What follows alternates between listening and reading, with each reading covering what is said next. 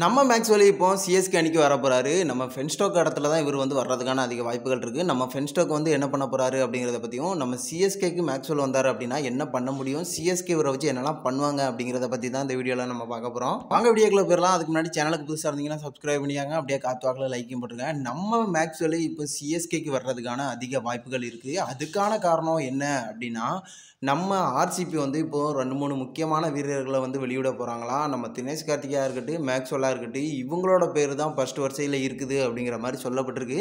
நம்ம ஆர்சிபியை பொறுத்த வரைக்கும் தினேஷ் கார்த்திக், மேக்ஸ்வெல் ரெண்டு பேருமே பர்ஃபார்மன்ஸ் இந்த சீசனாக இருக்கட்டும், போன சீசனாக இருக்கட்டும் ஓரளவுக்கு சுமாராக தான் பண்ணியிருந்தாங்க.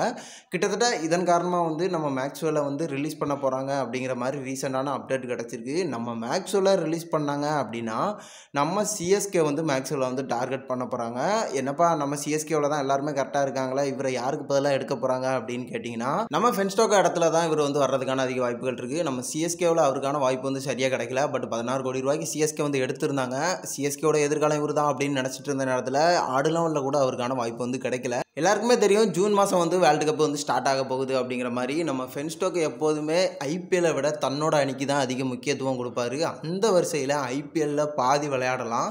இல்லைனா ஐபிஎல்லேருந்து ஃபுல்லாகவும் விலகுவார் அப்படிங்கிற மாதிரி தான் அப்டேட் வந்து சொல்லியிருக்காங்க. நம்ம ஃபென்ஸ்டோக் வந்து அதாவது ஐபிஎல்லேருந்து ஃபுல்லாக விலகினார் அப்படின்னா, அந்த இடத்துல தான் நம்ம சிஎஸ்கே வந்து மேக்ஸுவலாக டார்கெட் பண்ணுறதுக்கு அதிக வாய்ப்புகள் இருக்குது ஏன்னா எல்லா டீமுக்கிட்டையும் பார்த்துருந்தோம் அதிக தொகைகள்லாம் பெருசாக இருக்க போகிறதில்ல நம்ம சிஎஸ்கே கிட்ட இப்போதைக்கு ஃபென்ஸ்டோக் வெளியேறிட்டார் அப்படின்னா 16 கோடி ரூபா அப்படி ரவுண்டாக இருக்கும். கட்டாயமாக மேக்ஸ்வெல்ல வந்து டார்கெட் பண்ணுவாங்க. நீங்கள் நினைக்கலாம் சிஎஸ்கே வந்து மேக்ஸ்வெல் போல பெரிய பெரிய வீரர்களை வந்து டார்கெட் பண்ண மாட்டாங்க. இளம் வீரர்களை வந்து தான் டார்கெட் பண்ணுவாங்க. கம்மியான ரேட்டுக்கு தான் எடுக்க ட்ரை பண்ணுவாங்க ப்ரோ அப்படின்னு சொல்லலாம். பட் இதுக்கு முன்னாடி வரலாறு எடுத்து பார்த்தீங்கன்னா, நம்ம மேக்ஸ்வெலுக்கு ரெண்டு மூணு தடவை போட்டி போட்டிருக்காங்க. நம்ம சிஎஸ்கே அதிக தொகைக்கு மேக்ஸ்வெல் போனதுனால தான் நம்ம சிஎஸ்கே வந்து அவரை விட்டு கொடுத்துருக்காங்க ஆனால் இந்த தடவை மிஸ் ஆக போகிறது இல்லை மேக்ஸ்வெல்ல எடுத்துட்டாங்க அப்படின்னா தரமான சம்பவம் இருக்குது பவுலிங், பேட்டிங் அப்படின்னு மூணுலேயுமே கிட்ட கிட்டத்தட்ட ஃபீல்டிங்லேயும் பார்த்தீங்கன்னா சூப்பராக பண்ணுவார் நம்ம சிஎஸ்கேக்கு வந்துட்டார் அப்படின்னா அப்படியே செட் ஆயிடுவாருங்க எனக்கெல்லாம் தெரிஞ்சு பார்த்தீங்கன்னா, அவரை வந்து மிஸ் பண்ணக்கூடாது. கட்டாயமாக சிஎஸ்கே வந்து அவரை எடுத்தாகணும். எடுத்துட்டாங்க அப்படின்னா, நம்ம ரைனா போல தான் தனியாளா இருந்து மேட்ச்சை வந்து மாற்றக்கூடிய வீரராக மாறி இருப்பார் நம்ம சிஎஸ்கேவில் அது மட்டும் இல்லாமல் ஒன் டவுன் யூஸ் பண்ணிக்கலாம். அது மட்டும் இல்லாமல் பார்த்தீங்கன்னா, ஒரு ஃபினிஷராகவும் மேக்ஸ்வெல்ல வந்து யூஸ் பண்ணிக்கலாம். அது மட்டும் இல்லாமல் ஸ்பின்னர்ஸை அடிச்சு விளையாடணும் அப்படின்னா, இப்போதைக்கு நம்ம சிஎஸ்கேவில் வந்து நிறைய பேர் இருக்காங்க. பட் இருந்தாலும் அடித்து விளையாடணும் அப்படின்னா, நம்ம சிவத்தை வந்து கட்டாயமாக சொல்லலாம்.